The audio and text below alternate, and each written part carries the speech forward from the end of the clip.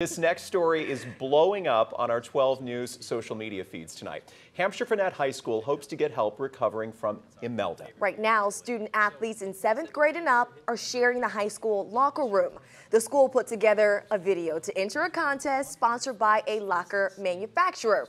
Coaches say because of the flooding, three students are sharing just one locker. Schools from across the country entered hoping to win a locker room and they've made it to the top five. So this will all be decided by online voting. And if you head to our 12 News app right now, you know, we got your, you have your phone in your hand there. You can go to our app and find out how to vote and hope that Hamshire Fannett wins. So now we have to vote for Hamshire Fannett for the locker room and Silsbee for HGTV. Bingo. There you go. Bingo.